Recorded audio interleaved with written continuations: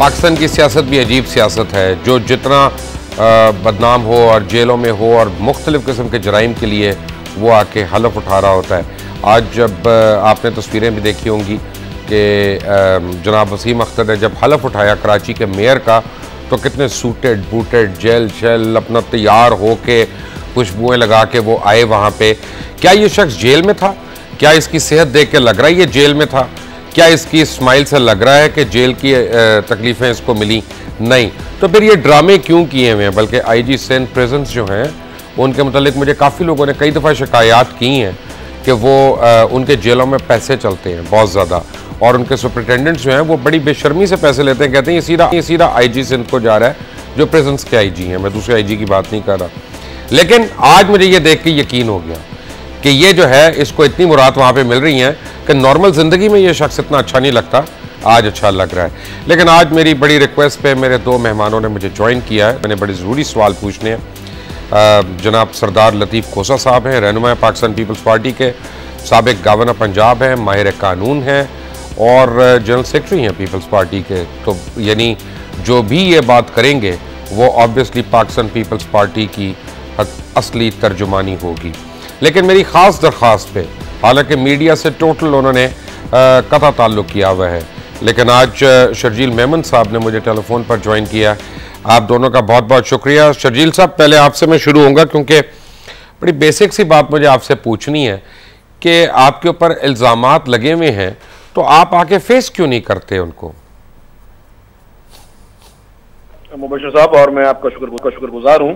कि आप मेरा मौकफ सुनने, सुन भी रहे हैं और आज आज कॉल भी किए मैं पहले दिन से ये कह रहा हूँ कि मैं तैयार हूँ और मैं चाहता हूँ सारा ये पाकिस्तान मेरा मुल्क है, मेरे बच्चे वहाँ रहते हैं, मेरी फैमिली वहाँ रहती है। मैं इस मुल्क में पैदा हुआ हूँ और इन ताला मेरी खबर भी इसी मुल्क में बनेगी। और मैं इस मुल्क में आके तमाम उन मन घड़त झूठे इल्ज़ाम को फेस करना चाहता हूँ। लेकिन जो डिस्क्रिमिनेशन कहते हैं कि किसी के ऊपर पहले केस बनता है और फिर सजा दी जाती है। अनफॉर्चुनेटली मेरे केस में पहले सजा दी गई है। और उसके बाद फिर केस चलेगा।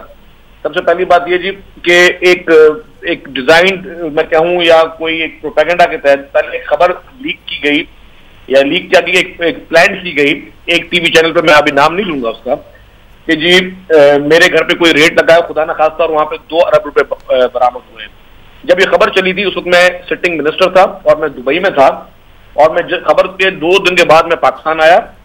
मैंने प्रेस कॉन्फ्रेंस की मैंने कहा कि जी ये झूठी मन गलत खबर है। और जिस चैनल ने चलाई है, उसको उसी दिन मैंने नोटिस पैमरा को भी भेजा। उसी दिन मैंने नोटिस जो है कोर्ट के थ्रू भी उनको भेजा। और मैंने कहा कि जी, दो अरब रुपए अगर निकले हैं तो वो कहाँ गए? और जिस चैनल ने चलाई है, वो वो या तो माफ़ी मांगे, या इस चीज़ को क्लियर करे। लेकिन फिर उस टीवी चैनल ने उस चीज़ को क्लियर किया, तरदीद चलाई। अनफॉर्चुनेटली जो खबर थी, उसको बहुत हाईलाइट किया गया। जो तरदीद थी, वो कोई बीस सेकंड की चली। तो फिर जो तरदीद थी वो क्लियर और वो इतना स्प्रेड किया गया कि नेशनल असेंबली में एक सिटिंग फेडरल मिनिस्टर ने बगैर नाम लिए हुए ये कहा कि जी सिंध के वजरा के घर से दो दो अरब रुपए बरामद हुए जो कि एक प्रोपेगेंडा उसके बाद फिर नैब के बात आई। अच्छा मैं आपको कह दूँ कि मैं बिल्कुल अपने इलाज के लिए बाहर गया था मुबशर साहब। अनफॉर्चुनेटली ये भी एक यूनिक एग्ज़ाम्पल होगा। जब मैं बाहर गया तो मेरा नाम आया एग्जिट कंट्रोल लिस्ट में। अच्छा जब मेरा नाम एग्जिट कंट्रोल लिस्ट में आया, उस दिन तक मुझे नैब की तरफ़ से ना कोई एफआईआर ना कोई नोटिस ना ही कोई कॉल अप नोटिस था कि जी, मेरा नाम क्यों आया। फिर उसके बाद मैं खुद हाई कोर्ट में गया कि जी, मैं जब मुल्क से बाहर हूँ, एक तो एग्जिट कंट्रोल लिस्ट का नाम उनके खिलाफ आता है, जो कि मुल्क में होते हैं, उनको मुल्क में जाने से रोका जाता है। एक शख्स जो कि ऑलरेडी मुल्क से बाहर है, उसका नाम एग्जिट कंट्रोल लिस्ट में क्यों डाला गया? तो मैंने नैब मैंने हाई कोर्ट में नैब के खिलाफ गया तो फिर उसके उस वो प्रोसेस चलता रहा। उसके छह महीने के बाद जो है वो नैब ने मुझे सिर्फ़ एक कॉल अप नोटिस दिया। आज दिन तक जो मैं आपसे बात कर रहा हूँ मेरे खिलाफ कोई रेफरेंस नहीं है। मुबशर साहब एक, एक, एक सवाल निशान। उन तमाम इदारों के ऊपर है जो कि इस एहसाब के अमल को देख रहे हैं और खसूसी तौर पर फेडरल गवर्नमेंट को कि जी जिन जो नैब का हाईएस्ट जो एक्शन होता है वो होता है रेफरेंस इस वक्त मियाँ नवाज़ शरीफ साहब के खिलाफ बेशतर रेफरेंसेस मौजूद है मियाँ शहबाज शरीफ साहब के खिलाफ बेशतर रेफरेंसेस मौजूद है इसाक डार साहब के खिलाफ बहुत सारे गुजरा जो है, वफाकी या मुख्तु जगह पर मुख्तु लोग हैं बैरोक्रेट्स हैं, पॉलिटिशियंस हैं, जिनके खिलाफ रेफरेंसेज मौजूद हैं। अच्छा मेरे खिलाफ आज दिन तक मैं आपको बड़े श्योरिटी से कह रहा हूँ, मेरे खिलाफ कोई रेफरेंस नहीं है। तो जिनके खिलाफ रेफरेंस मौजूद है, उनका नाम एग्जिट कंट्रोल लिस्ट में क्यों नहीं आता? और मेरे खिलाफ आज दिन तक कोई रेफरेंस मौजूद नहीं है तो मेरा नाम क्यों एग्जिट कंट्रोल लिस्ट में लाया गया? क्राइटेरिया क्या है? किसी का नाम एग्जिट कंट्रोल लिस्ट में लाने के लिए। हालाँकि चौधरी साहब ने बड़े दावे किए थे कि अब पॉलिटिकल विक्टिमाइजेशन नहीं होगी, अब लोगों के नाम इस तरह नहीं आएँगे। लेकिन मेरा सवाल, आज भी सवाल निशान है कि नैब के पास कोई क्राइटेरिया है या हमारे कोर्ट के पास कोई इस तरह का कोई कानून मौजूद है कि किस एक्सट्रीम पे आप किसी का नाम कंट्रोल लिस्ट में लाएँगे? और वो भी उस शख्स के जो कि ऑलरेडी मुल्क से बाहर है तो what message you are giving me और आप मेरे खिलाफ मीडिया ट्रायल शुरू कर रहे हैं। आप अगर कोई इंक्वायरी है केस मेरे सामने लाए। मैं हर चीज़ को फेस करने तैयार और आज भी मैं कह रहा हूँ, आज मेरा नाम, मैं कोर्ट में, आज भी मेरी हेरिंग थी। पिछले एक साल से मैं कोर्ट से इस्तदा ये कर रहा हूँ कि बरए मेहरबानी। मेरा नाम एग्जीक्यूटिव लिस्ट से निकाला जाए ताकि मैं अपनी मर्ज़ी से पाकिस्तान से आ सकूँ, पाकिस्तान से बाहर जा सकूँ और मैं उन तमाम झूठे मुकदमात को फेस करने के लिए तैयार हूँ, जो कि मन घड़त तरीके से बनाए गए हैं। तो शजील साहब, आप ये समझते हैं कि वफाकी हुकूमत किसी प्लान के तहत आपको विक्टमाइज कर रही है? इस गवर्नमेंट से पहले की गवर्नमेंट में मेरी स्टेटमेंट्स देख ले मुबशर साहब। आप एक सीनियर एंकर हैं माशाल्लाह पाकिस्तान के टॉप एंकर्स में आप आते हैं। थैंक यू तो आप मेरी मेरी स्टेटमेंट्स जो है वो हमेशा फेडरल गवर्नमेंट उस वक्त मियाँ नवाज़ शरीफ साहब के खिलाफ या शहबाज शरीफ साहब के खिलाफ एक बोल्ड स्टेटमेंट थी। मैं समझता हूँ कि या तो उसकी कोई मेहरबानी है या कोई और कोई खास मेहरबानी है। जब मैं ये मैं दोबारा कह रहा हूँ ये तो ये एंकर्स को उठाना चाहिए कि जी आप बुलाएँ इनके इन सारे अथॉरिटीज को कि व्हाट इज़ द क्राइटेरिया इस मुल्क में दो लॉ तो नहीं चल सकते कि अलिफ के लिए एक लॉ होगा, बे के लिए दूसरा लॉ होगा। अगर लॉ है, सबके लिए एक होना चाहिए। अगर जो नैब का एक्सट्रीम एक्शन में बता रहा हूँ दैट इज़ रेफरेंस अगर रेफरेंस पे आप नाम ईसीएल पे नहीं डाल रहे तो एक सिर्फ़ जिसको आपने नाम कोई नोटिस भेजा, ना कोई इंक्वायरी के लिए कभी उसको बुलाया, उसका नाम आपने डायरेक्ट किस तरह ईसीएल के लिए दे दिया। तो ये डिस्क्रिमिनेशन चल रही है, और मैं समझता हूँ मुझे केस चलने से पहले या शिकायत सुनने से पहले सजा उन्होंने दे दी है। अल्लाह मालिक है लेकिन कुछ भी हो जाए इन ताला मेरा इरादा है कि अब ईसीएल से ये मेरा नाम जिस दिन निकला इंशाल्लाह उस दिन मैं पाकिस्तान में मौजूद हूँ और उन तमाम झूठे मुकदमात को फेस करने के लिए मैं तैयार हूँ। शजील साहब एक मैंने आपसे सवाल पूछना है कि ये क्या बात है कि जब हम कभी किसी वज़ीर को वज़ीर आज़म को या वज़ीर अला को या आ, किसी इदारे की हम करप्शन को बात करते हैं तो हम पे इल्ज़ाम आता है कि हम जमहूरीत के मुखालिफ हैं और मार्शल लॉ लगवाना चाहते हैं। लेकिन जब अल्ताफ़ हुसैन जैसा आदमी पाकिस्तान के नज़रिया पाकिस्तान के ख़िलाफ़ बात करे और पाकिस्तान तोड़ने की बातें करे, अदलिया को और अफवाज पाकिस्तान को गलीज़ अल्फाज में याद करे तो उसको कहा जाता है, इसको कुछ ना कहो, वो रियासत के ख़िलाफ़ हालाँकि बात कर रहा है, ये जमहूरियत का हामी है। आसिफ अली जरदारी साहब ने जब अपना एक जुमला दिया तो उनको तो बड़ी हैवी प्राइस पे करनी पड़ी। लेकिन बाकी जितने लोग हैं, चाहे वो अल्ताफ़ हुसैन हो या अचक जई हो, इनके ऊपर कुछ नहीं होता। ये हमारे यहाँ, ये मसला क्या है? मुझे आप समझा सकते हैं इस बात पे? देखिए साहब, मैं आपको एक बात क्लियर करूँ। जहाँ तक आपने पहले, मैं जरदारी साहब की बात क्लियर करूँगा क्योंकि वो मेरे लीडर भी है।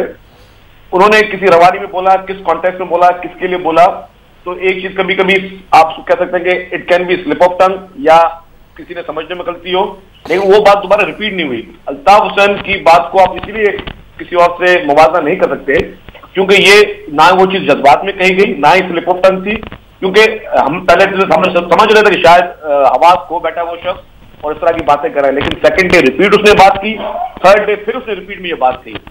और ये मैं कह दूँ कि ये कोई ये नहीं कह सकता कि ये कोई जज्बाती कैफियत थी, ये पूरा बाय डिज़ाइन था, प्री प्लान था, जो कश्मीर में हो रहा है डेफिनेटली उसका रिएक्शन आना था, जो कश्मीर में वहाँ मुजाहिदीन अपने आपके खुदा के लिए, अपनी एक आइडेंटिटी के लिए, अपने मुल्क के लिए जो वो फाइट कर रहे हैं, उसका रिएक्शन आना था और वो रिएक्शन मैं समझता हूँ कि जो मुल्क दुश्मन लोग हैं, उन्होंने in shape of Altaf Hussain की स्पीच के शेप में दिया और बिल्कुल वो शख्स बिल्कुल काबिल माफ़ी नहीं है, जो उसकी नीयत है, जो उसके शुरू में ये बातें पहले भी डिस्क्लोज हो चुकी है लेकिन अनफॉर्चुनेटली ये बातें नई नहीं है। ये बातें पुराने अखबारों में भी की गई है।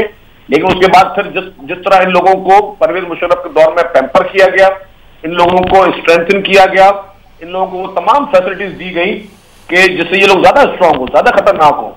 वो सारी चीज़ें हुई। लेकिन मैं समझता हूँ कि जो अल्ताफ हुसैन ने जो कुछ किया है और जो उसकी नीयत है, वो किसी सूरत में भी उसको माफ़ नहीं किया जा सकता।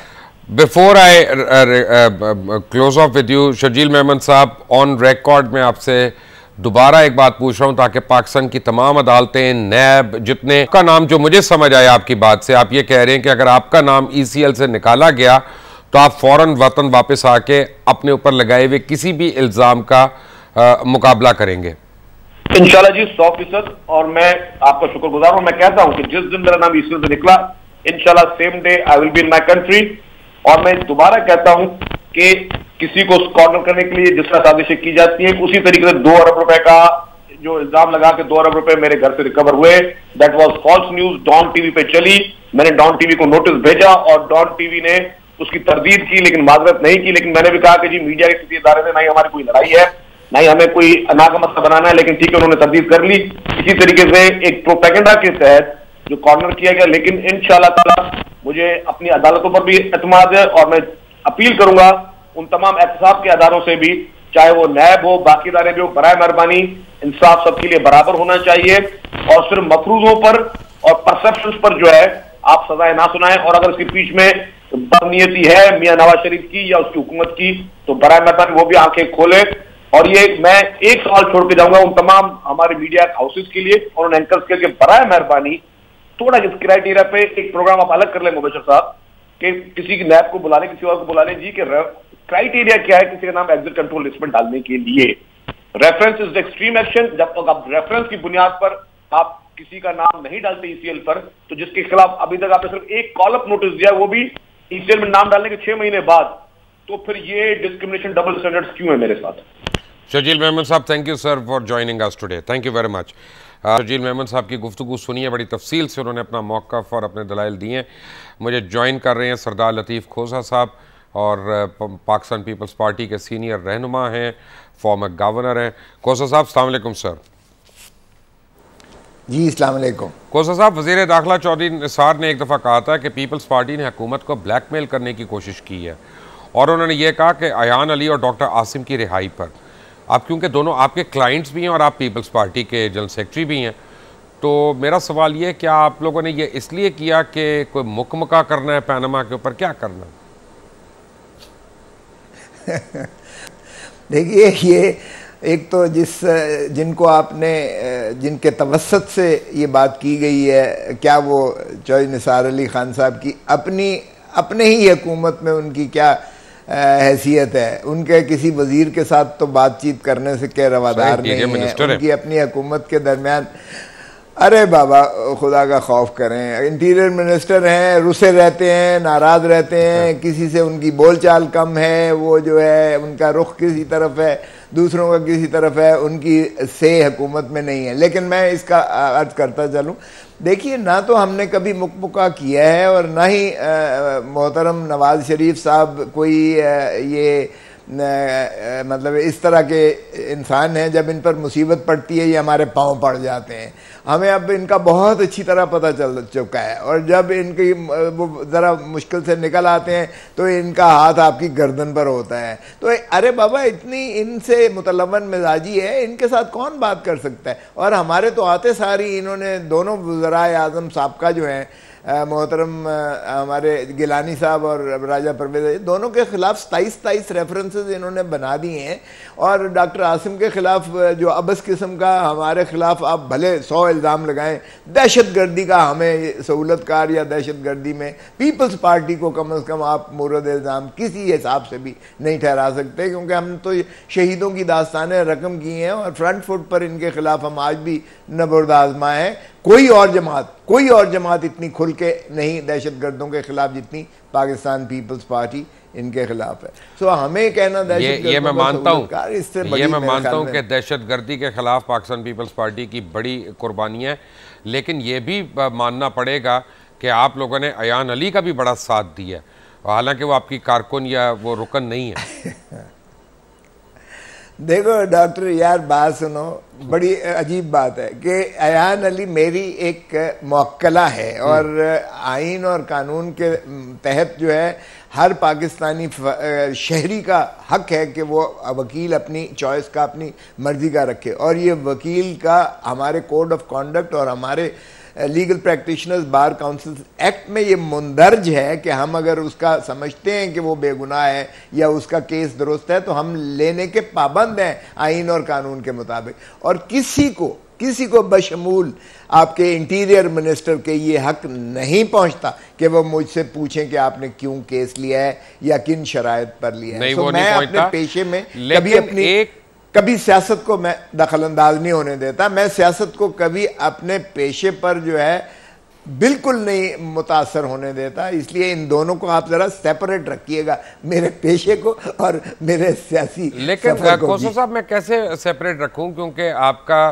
जो अपने ऑफ़िस हैं मुल्तान में और कराची में, वो बंद हुए थे आप ही की सियासत की वजह से। तो आपके पेशे को आपकी सियासत की मार भी तो खानी पड़ी है ना? तो दोनों लिंक ही हैं।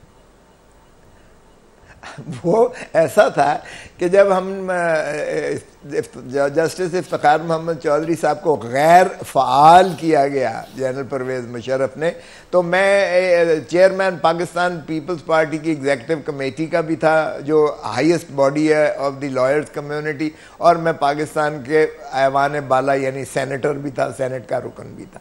तो उस नाता से ज़ाहिर है, जब मैंने लीड किया तो मेरे सर पे ऊपर जो है तशद जिस तरह से मुझ पर किया गया वो सारी कौम ने देखा। और हमने फिर तहरीक चलाई। लेकिन जब मोहतरम इफ्तार चौधरी साहब अपने, मैं, हम, मिशन से ड्रिफ्ट होकर, बजाय इसके कि जो तवक़ात कौम ने उनसे वाबस्ता की थी, वो बजाय इसके कि उसकी तरफ़ गामजन हो जाते, और फिर उन्होंने अपनी ज़ाती जो नमूद और नुमाइश का एक सिलसिला शुरू किया। ज़ाहिर है कि उससे हमारे इख्तलाफात हुए और फिर वो बदमस्त हाथी की तरह वो रोनते चले गए और उन्होंने अपना जी जो जान निसार बेशुमार वालों को नवाजना शुरू किया और उससे यकीनन हमारे दफ्तर बंद हुए क्योंकि मुल्तान में और जो दो, दो मेरे दफ्तर थे वो कराची वाला भी मुतासर हुआ। ये ठीक कह रहे हैं आप लेकिन देखिए एक और लिंकेज भी है ना जी। आपके पेशे में और सियासत में एक और लिंकेज भी है। वो वजारत दाखिला की तरफ़ से ये कहा गया कि अयान अली और बिलावल भुटो जरदारी के एयर टिकट्स एक ही अकाउंट से ख़रीदे गए। तो जब वो एक ही अकाउंट से लिए गए हैं तो ये तो हमारा राइट है ना पूछना कि अकाउंट होल्डर कौन है?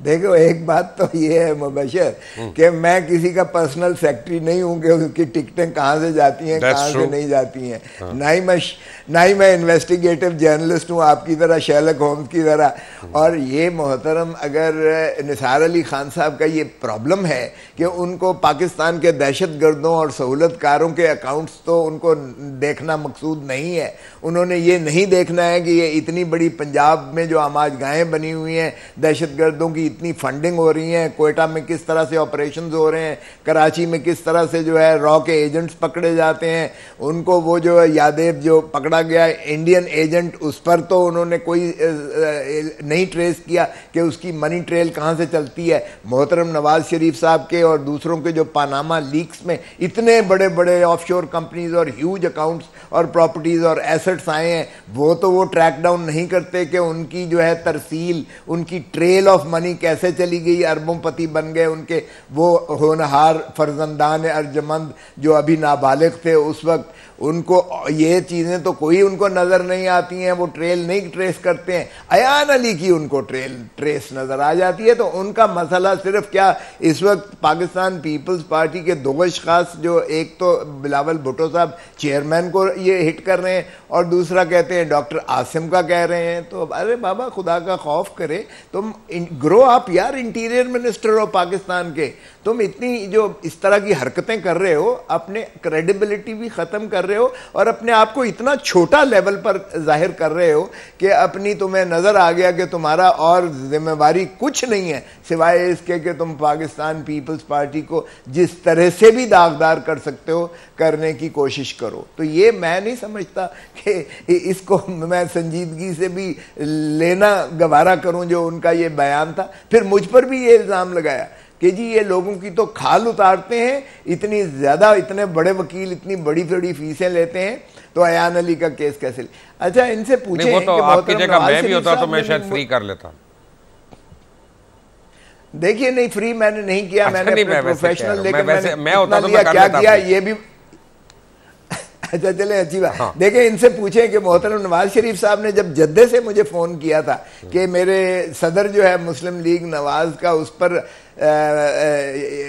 जनाब जनरल परवेज़ मुशर्रफ साहब ने ये जो है वो उसका सडिशन का केस कर दिया है और आप मेहरबानी करके करें, मैं आपको फ़ीस दूँगा। और मैंने उनका केस किया, जो सदर थे उस वक्त मुस्लिम लीग नवाज़ के तो पूछें ज़रा, मैंने कितनी खाल उतारी थी उनकी? और इसी तरह मैंने तहमीना दौलताने के केसेस किए, जो रिपोर्टेड भी हैं, वो मुस्लिम लीग नवाज़ की वज़ीर भी थी, और उनके केसेस मैंने किए, पूछें कितनी खाल उतारी तो देखें, मैंने जिस तरह अर्ज़ किया कि मैं जहाँ भी कोई शख्स जो है, मैं समझता हूँ कि उस पर जुल्म हो रहा है, जावेद हाशमी पर ज़्यादती थी, जुल्म था, या तहमीना पर था, या जो भी केस मैं समझूँ लूँ, वो चाहे अक्रॉस द बोर्ड किसी भी पार्टी से मुतल हो, मेरे लिए पाकिस्तानी शहरी होना और पाकिस्तान के आइन के ताबे अगर उससे जुल्म हो रहा है तो बतौर वकील के मेरा फ़र्ज़ बनता है कि मैं करूँ।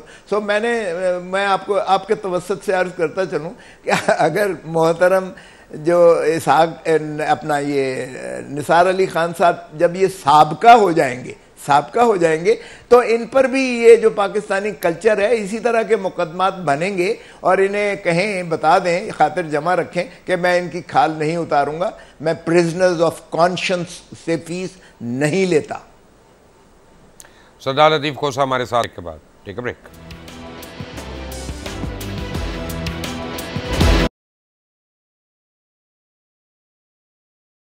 सरदार लतीफ़ खोसा हमारे साथ ही हैं welcome back from the break Khosa sahab, मुझे ये बताएँ कि आपने ईसीपी में एक पिटीशन दायर की हुई है, मियाँ नवाज़ शरीफ नवाज़ शरीफ और उनके अहल खाना की ना, अहली के हवाले से।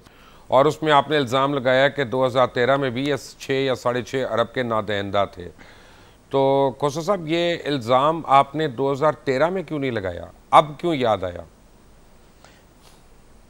देखिए, एक बात तो ये है कि ये बात इलेक्शन कमीशन ने भी मुझसे इस्तफसार किया था।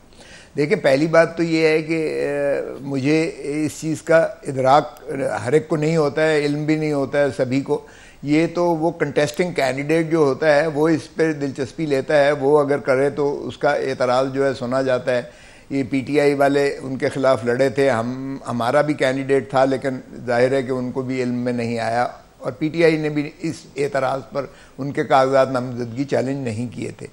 लेकिन जब, अब हमने सारा पानामा लीक्स के बाद जब हमारी कमेटी बनी और जिसमें हमने सारा प्रोब इंटू किया कि ये किस तरह से इन ऐवानों में पहुँच गए हैं, जहाँ से सारा रियासत का ढांचा जो है वो उसवार होता है और क्या ये आइन के जो है, मुताबिक मामला हैं भी और बासठ, तिरसठ के जायचे में ये उतरते भी हैं, नहीं हैं? तो फिर हमने जब सारा उनके गोशवारे निकाले तो ये बात भी आ गई कि ये डिफ़ॉल्टर्स हैं। और जब हमने इसको आगे प्रूव किया तो स्टेट बैंक का स्टेट बैंक का जो तरसील करदा हमारे हाथ में वो लेटर भी आ गया जो उन्होंने इलेक्शन कमीशन ऑफ़ पाकिस्तान को लिखा था क्योंकि ये एक स्टैंडर्ड ऑपरेटिंग प्रोसीजर होता है कि जो भी उम्मीदवार हों, उनके जो है वो भेजे जाते हैं और स्टेट बैंक से मंगवाया जाता है कि बताइए किसी बैंक के ये, किसी फाइनेंशियल इदारे फाइनेंशियल इंस्टीट्यूट के, किसी के ये नादहिंद तो नहीं है और उसका अमाउंट भी है और उसका ड्यूरेशन भी बताई जाती है। तो वो हमारे हाथ आया तो हमें पता चला कि ये तो मौसूफ, फिर नैब ने भी एक लेटर भेजा हुआ था जिसमें ये बताया गया था कि ये ना दहेंद है।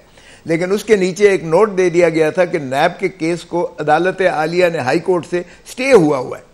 अब देखें कितनी मज़ा का खेज बात है कि एक तरफ़ तो क्रिमिनल केस का स्टे जो है, उससे कोई फ़र्क नहीं पड़ता है कि उससे आपकी वो नादहिंद होना जो है, वो डॉर्मेंट चला जाता है या वो वॉश आउट हो जाता है या ख़त्म हो जाता है। उन्होंने, आपको पता ही है जिस तरह हमारे रिटर्निंग ऑफिसर्स होते हैं, हम तो पहले कहते हैं ये आर का इलेक्शन था। और माशाल्लाह जस्टिस इफ्तार मोहम्मद चौधरी साहब चीफ जस्टिस ऑफ़ पाकिस्तान ने जिस तरह से ये मैनिपुलेट किया इलेक्शन और उनके साथ दो सबका जजेस भी शामिल थे, जिन्होंने रिटर्निंग ऑफिसर सारे बनाए, उनको तस्दीक की। और ये जुडिशल पॉलिसी के ख़िलाफ़ ये जुडिशल ऑफिसर्स को रिटर्निंग ऑफिसर्स बनाया गया था, क्योंकि मैं मैं खुद अटर्नी जनरल था उस वक्त तो मेरा जो रजिस्ट्रार था वो सेशन जज था। तो उसको रिकॉल कर दिया गया था। सारे कि जी हमने जुडिशल पॉलिसी में हम जुडिशल ऑफिसर्स को किसी एग्जेक्टिव ऑफ़िस के लिए हम स्पेयर नहीं करेंगे। नहीं ठीक है ये सारी बातें ये सारी बातें दे मेक सेंस लेकिन मुझे ये बताएँ आप सीरियसली ये समझते हैं कि इलेक्शन कमीशन ऑफ़ पाकिस्तान जो नवाज़ शरीफ के घर की चीज़ है वो उसको कल अदम या डिस्कालीफाई कर देगा। I mean do you seriously believe that देखो, मुबशर लुकमान, यार, एक बात मैं आपको बताऊँ। देखिए, हमने कानून का हर वो दरवाज़ा खटखटाना है और हम आइन के ताबे हर उस इदारे के पास जाएँगे जिस इदारे का बुनियादी अख्तियार और हक और फ़र्ज़ है उसका। देखिए, इलेक्शन कमीशन ऑफ़ पाकिस्तान का ये फरीज़ा है। और सारा रियासती ढांचा उसी पर मुहित है कि इलेक्शन शफाफ और उन लोगों को अहलियत होनी चाहिए जो बासठ और तिरसठ के जायचे पर अमीन भी हों, सादिक भी हों, रास्तबाज भी हों और किसी तरीके से करप्ट प्रैक्टिस में इंडल्ज भी ना हों। तो देखिए ये उनका बुनियादी फरीज़ों में है। आर्टिकल 218 से लेकर आर्टिकल 219, 220 और तमाम जो एग्जेक्टिव इदारे हैं बशमूल सदर वज़ी अजम एजेंसीज आर्मी सभी उनकी मुआवनत और उनकी ताबे होगी ताकि इस अमल को शफाफ बनाया जाए। देखें, जो रियासत की तारीफ़ आर्टिकल, आइन में की गई है, उस रियासत की तारीफ़ में वफाकी हुकूमत और पार्लियामेंट है, सूबाई हुकूमत और सूबाई असम्बलियाँ हैं, डिस्ट्रिक्ट गवर्नमेंट और डिस्ट्रिक्ट असम्बलियाँ हैं। तो अवाम को मुख्तर करना मकसूद है यानी अवाम के जायज़ नुमाइंदगान वो उन ऐवानों में आए क्योंकि उन्हीं ऐवानों से फिर जो है कवानीन भी बनते हैं उन्हीं ऐवानों से जो है प्राइम मिनिस्टर प्रेसिडेंट वज़ी अजम वज़ी अला सभी जो है काबीना बनती है। तो इसका मतलब ये है कि अगला जो पाँच साल होते हैं या जितनी भी मुद्दत हो ठीक है let's take it another way ji. मैं समझता हूँ छः तारीख को वज़ीर अजम डिस्कालीफाई नहीं होंगे और इलेक्शन कमीशन आपको एक और ट्रक की बत्ती के पीछे लगा देगा। उस सूरत में क्या पीपल्स पार्टी सड़क पे आने को तैयार है? देखिए, एक बात तो ये है कि छः तारीख को कटआउट डेट इसलिए नहीं है कि उनको जवाबदेही के ये मैं समझता हूँ, हमारी ये ये भी एक कामयाबी है, कानून की बालादस्ती है कि पहली मरतबा तारीख़ में, पहली मरतबा तारीख़ में वज़ी अजम वज़ी अला वज़ी ख़जाना और शाही ख़ानदान को जवाबदेही के लिए तलब किया गया है और वो भी हमारे तमाम बहस व तमीज़ दो हफ्तों की बहस व तमीज़ और इलेक्शन कमीशन ने तमाम उन शवाहद और सबूतों का जायज़ा लेने के बाद उनको जवाबदेही के लिए तलब किया। आइए जवाब दें क्यों ना आपको नाहल करार दिया जाए। तो ये बजात ही बहुत बड़ी माजरत के साथ है और अगर माजरत के साथ इंतहाई अदब के साथ दुनिया की पाँच हज़ार साल पुराना तारीख में ये भी सिर्फ़ एक ही बारी हुआ है कि जो मुलजिम है, जो मुजरिम है, जिसने, जिसका नाम पैनामा लीक्स में आया हुआ, कि उसने अरबों डॉलर खुर्द है और वह ढीट होके सरकारी वसाइल इस्तेमाल करके लोगों को कह रहा है कि मैं जिम्मेदार नहीं हूँ और उसकी जो जाँच पड़ताल होनी है, उसकी टी ओ आर भी, उसकी टीम बैठ के ऑपोजिशन के साथ बनवाएगी। माजर के साथ तारीख तो आप लोगों ने तब भी लिख दी थी। यार ये आप बिल्कुल दुरुस्त कह रहे हैं। मगर देखिएगा, दूसरा आप पहलू भी देखें। अगर हम फिर इस राह इस रास्ते पर न चलें तो दूसरा रास्ता तबाही और बर्बादी और फिर सिविल वॉर का है। देखें क्या आप चाहेंगे कि धरती माँ को नुकसान हो? इन्होंने तो धरती माँ को इस तरह से लूटा है कि जिस तरह से पाकिस्तान की तो क्या दुनिया की तारीख में शायद किसी हुक्मरान और उनके खानदान तो ने लूटने दें जिस तरह से देखें हम नहीं लूटने देंगे। मैं आपको बता रहा हूँ क्या सड़क पे आने को तैयार हैं तो आप? तो क्या कौम धरती माँ को बचाने के लिए बिल्कुल तैयार हैं। कब आएँगे? बिल्कुल तैयार हैं। हर देखिए क्योंकि लूट मार तो नहीं बंद हो रही। अब स्टेप बाय नहीं हम हम इन स्टेप बाय स्टेप चल रहे हैं। हम कानून के मुताबिक चल रहे हैं और जो हड़ताल है या जो प्रोसेशन है या जो जलसे जुलूस हैं पुरमन वो भी आइन और कानून के ताबे ही होते हैं और उसके मुताबिक हैं। सर जितना आप टाइम ले रहे हैं माजरत के साथ स्टेप बाय स्टेप तब तक तो मेरे पोते पोतियों के भी निकाह और ब्याह हो जाएँगे। आप मुझे ये बताएँ कि जब मैं अपने सीने पे हाथ रख के मुझे बताएँ क्या खुर्शीद शाह आपको पाकिस्तान मुस्लिम लीग नवाज़ के जनरल सेक्रेटरी नहीं लगते? अपने सीने पे हाथ रख के बताएँ मुझे पता आप सच बोलेंगे। देखो मुबशर बात ये है मैं थोड़ा सा आपको बता दूँ। हाँ। सिंध और पंजाब का थोड़ा सा कल्चरल डिफरेंस देख लें। हाँ। सिंधी जब बात करता है या जो भी बॉडी लैंग्वेज होती है उसमें बड़ी हलीमी होती है बड़ी नरमी होती है बड़ी आजी होती है बड़ी इनकसारी होती है बड़ा ठहराव होता है बड़ी से हैं। सराइकी पंजाब सराइकियों से ज़्यादा मीठा मैंने नहीं देखा। और जुल्फकार मिर्ज़ा पंजाबी नहीं है माजरत के साथ। जितनी हलीमी और मैंने अलीम तबा तबीयत उनकी देख ली है मेरा मुना खुलवाएँ। देखिए ये एक्सेप्शन हैं। हाँ। मैं जनरल जनरल की बात कर रहा हूँ। हमारे यहाँ पंजाब में तो आप प्यार से भी बात करें तो गाली लगती है वो थोड़ा सा आपकी बॉडी लैंग्वेज भी आपकी एग्रेशन होती है और अगर आप प्यार से बुलाएँ भी तो गाली दे के बुलाते हैं तो थोड़ा सा फ़र्क है जो सिंधी में और ने कहा था कि खुर्शीद शाह अपने फ़ायदे उठवाते रहते हैं। देखें चौधरी निसार तो वो कहते हैं ना, कह गया हूँ जनू में क्या क्या कुछ कुछ ना समझे, खुदा करे कोई। मैं वो बक गया हूँ का लफ्ज़ नहीं इस्तेमाल करता, ज़रा तहजीब के दायरे में रहना चाहिए। लेकिन मैं ये कहता हूँ कि उनकी बात तो छोड़ दें। मगर देखें, बात यह है कि खुर्शीद शाह साहब बिल्कुल, हम एक ही पेज पर हैं, बिलावल भुट्टो जरदारी की बड़ा वाज चेयरमैन की सोच है। हम आखिरी दम तक जाएँगे, हम पाकिस्तान की हर पाई का हिसाब लेंगे, हम सारा जो है इनके ख़िलाफ़ कैफर किरदार तक पहुँचा कर रहेंगे दम लेंगे। और हम, देखिए, हमें कोई ऐसी जल्दी नहीं है कि हम रियासत या इसका नुकसान करें आवाम का नुकसान करें।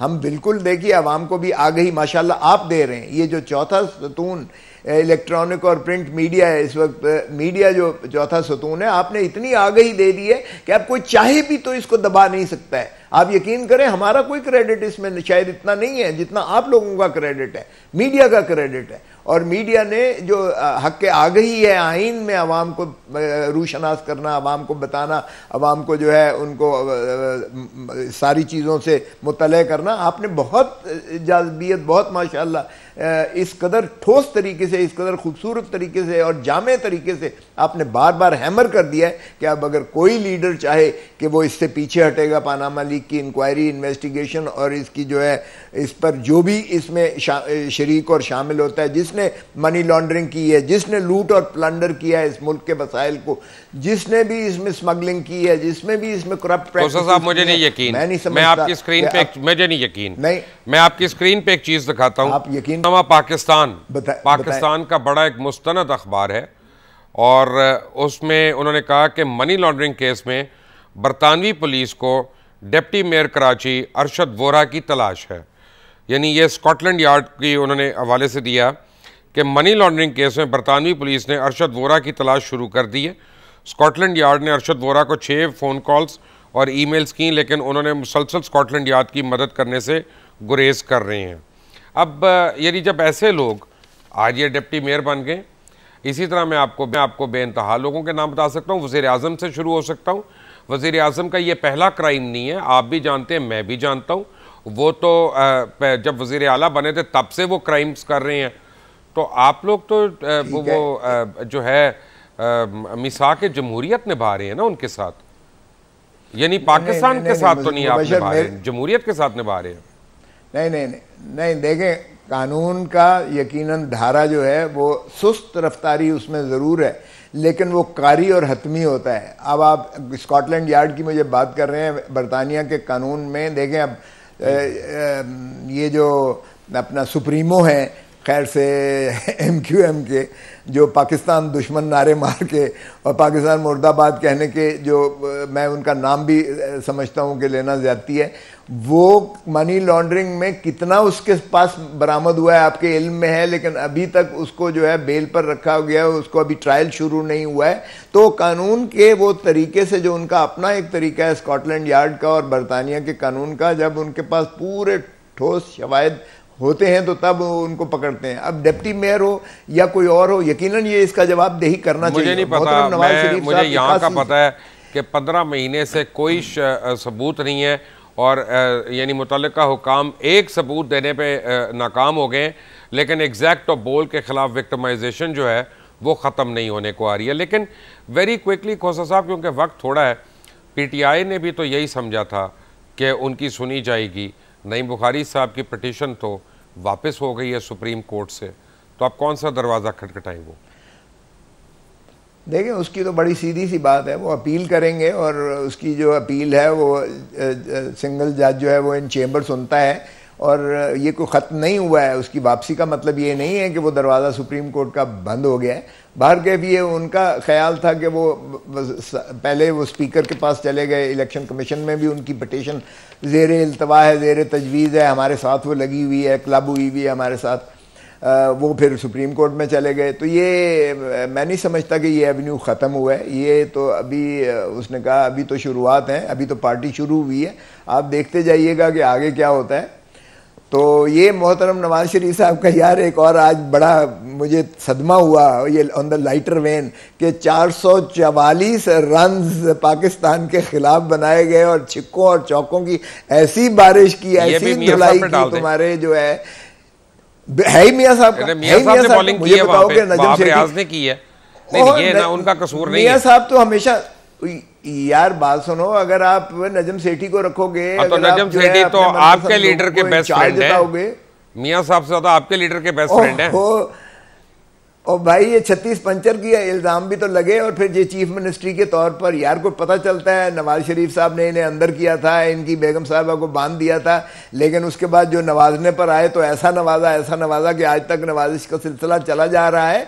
तो ये बातों छोड़ दें किस तरह से किस तरह हमने ये भी तो देखा कोटा ऑपरेशन ऐसा ना हो कि जब तक आप कानूनी शिकें ढूंढते रहें और अगले स्टेप्स का इंतज़ार करते रहें मियाँ साहब क्योंकि उनके पास अक्सरियत है फौरी तौर पे सदर पाकिस्तान इलेक्ट हो जाएँ और फिर उनको इंडेमनिटी हासिल हो जाए, जो आपके लीडर को भी थी और वो क्या कहते हैं, अल्लाह खैर सल्ला।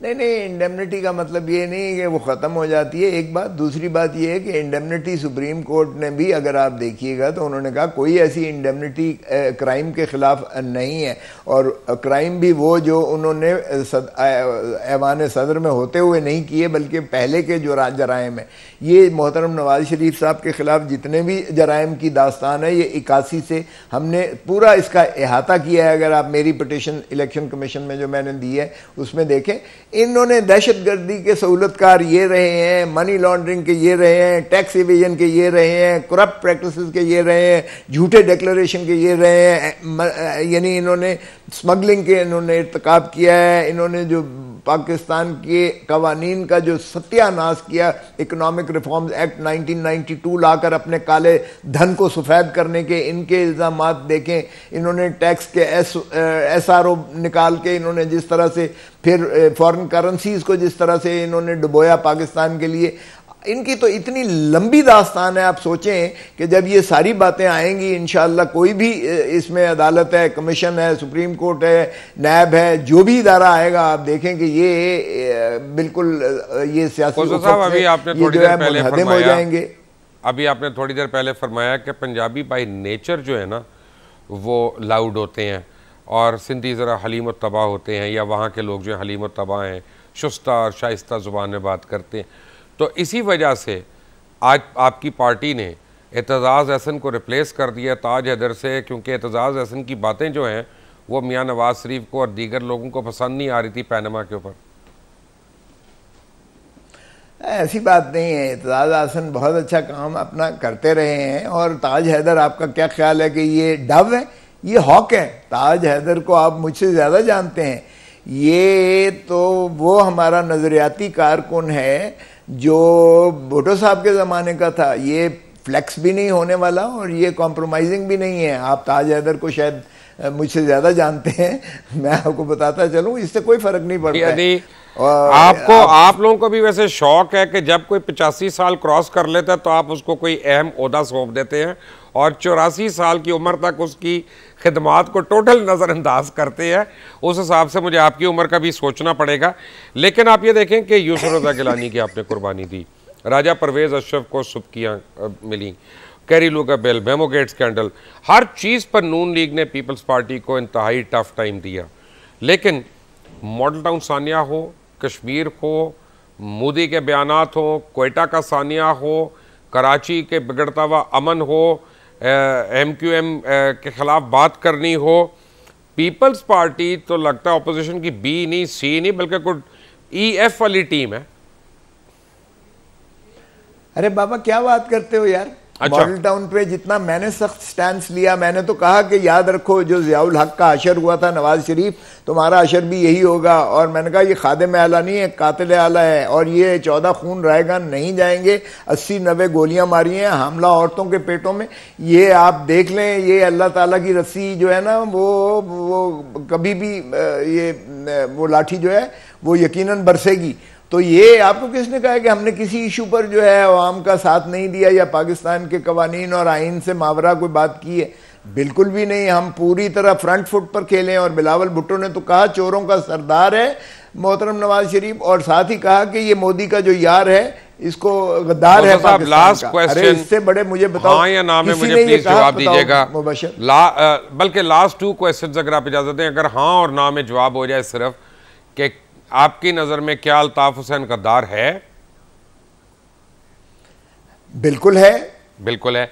ओके और आपकी नज़र में आपकी राय के मुताबिक क्या सितंबर के महीने में अगर ईसीपी ने कोई खातिर खा जवाब ना दिया डिसक्वालिफिकेशन के ऊपर तो क्या पीपल्स पार्टी सड़कों पे आ सकती है? आ सकती है नहीं आएगी। सितंबर के महीने में। आपको? So what you are saying is कि सितंबर में पीपल्स पार्टी एहतजाज के लिए सड़कों पे आ रही है। मैं मैं इसलिए सितंबर महीना कट आउट डेट्स इसलिए क्योंकि ये देखें वो यकीनन उनको जवाबदेही का मौका मिलेगा। कभी भी अल्लाह ताला ने शैतान को भी मौका दिया था तो इलेक्शन कमीशन ने जब नवाज़ शरीफ और शहबाज शरीफ और इबलीस के साथ कोई खड़ा नहीं था? उसकी सपोर्ट कर रहे हैं यहाँ पे जमहूरियत में सारे एक दूसरे के साथ खड़े हैं। देखें मैंने एक वैसे कहा है कि उनको जवाबदेही का मौका तो इलेक्शन कमीशन ने देना ही देना है, है। इसलिए वो कितना लेकिन आप सड़कों पे आने को। तैयार हैं जी बिल्कुल सौ फ़ीसदी हम तैयार हैं। सरदार लतीफ़ खान को बहुत बहुत शुक्रिया हमारे साथ रहने का। अल्लाह करे कि इस मुल्क के हुक्मरानों को और सियासतदानों को ये समझ आ जाए कि ये मुल्क है तो सब है। अगर ये मुल्क रहेगा तो हम लोग रहेंगे। हमारे स्टूडियोज़ आपके घर किसी की टाई किसी की एयर कंडीशन किसी का खाना, किसी का पीना, किसी की अयाशी और ये है। लेकिन उसके लिए जो फंडामेंटल राइट्स हैं, अगर वो जमहूरियत नहीं देती लोगों को बुनियादी सेहत, तालीम, पीने का पानी लॉ एंड ऑर्डर सिक्योरिटी तो ऑब्वियसली जमहूरियत में बहुत नुकसान भी हो रहे हैं। ये चेक एंड बैलेंस करना पड़ेगा। अंटिल नेक्स्ट टाइम अल्लाह हाफिज़।